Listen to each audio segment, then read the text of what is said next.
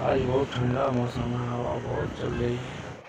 Hello दोस्तों, ये देखिए, आज हम आए हैं समंदर की सैर करने। आप लोग को कुछ दिखाएँगे, आप लोग देखिए।